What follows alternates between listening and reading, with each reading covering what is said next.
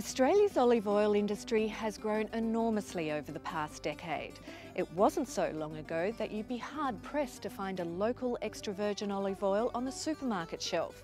Now they're a familiar sight in our shopping baskets. But it hasn't been an easy road.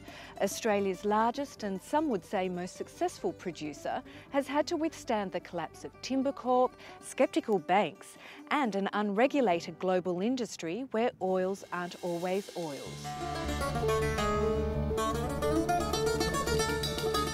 If you had have said to me three years ago what's the worst thing that can happen to Boundary Bend, I would have said Timbercorp going broke. And if you said to me now what's the the best thing that could happen to Boundary Bend, I would have said Timbercorp going broke. Rob McGavin and Paul Riordan planted their first 200 hectares of olive trees on the banks of the Murray River in 1999. The trees are very easy to grow, they'll grow almost anywhere, but making them fruit consistently and producing good quality oil is, is reasonably difficult. Boundary Bend is known for turning a production method thousands of years old on its head.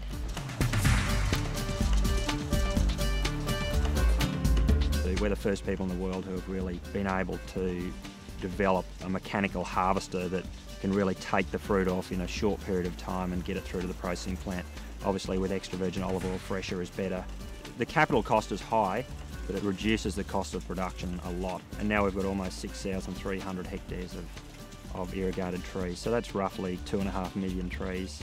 We produce about 10 million litres of extra virgin olive oil and our turnover is around $50 million.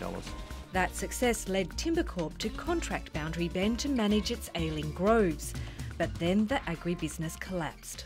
There was MIS growers who owned the fruit and then there was the landholder being Timbercorp which was in administration. We were there as the operator with the equipment and the staff um, but no one to pay us. It was an awfully difficult six months. There was numerous issues, not only with our own bank, but with you know, the general situation at the time of just working through the courts and, and the complexities of the financial structure that was in place at the time. I mean, it's not an experience I really would like to go through again. Boundary Bend ended up buying the Timbercorp groves.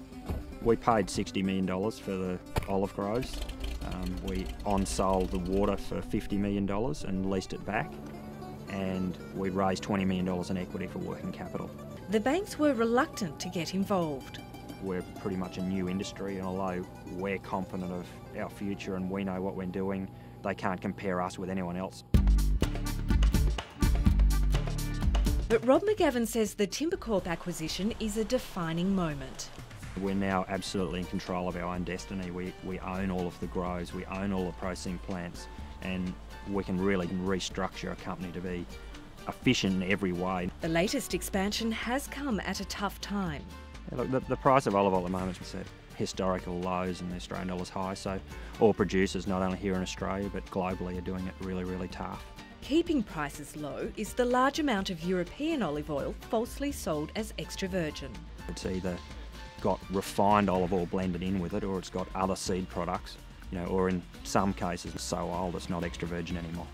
Yeah, I mean, it means the global market uh, uh, remains soft, but you know, I've got confidence there's a little bit of momentum in some major consuming companies that are really seeing that they've been misled by, you know, this problem of adulteration and mislabeling. Boundary Bend has welcomed the newly drafted Australian standards for local and overseas producers. We just want a level playing field. We think that a stand will go a long way towards getting more consumer trust in the segment.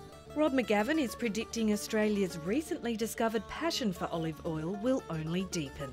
People say butter is a great enhancer of, of flavour of food, but extra virgin olive oil is better. And I think the added benefit is that it's got great health benefits.